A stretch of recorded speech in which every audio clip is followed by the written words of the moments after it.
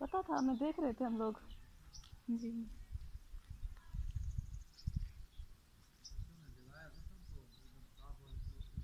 जी।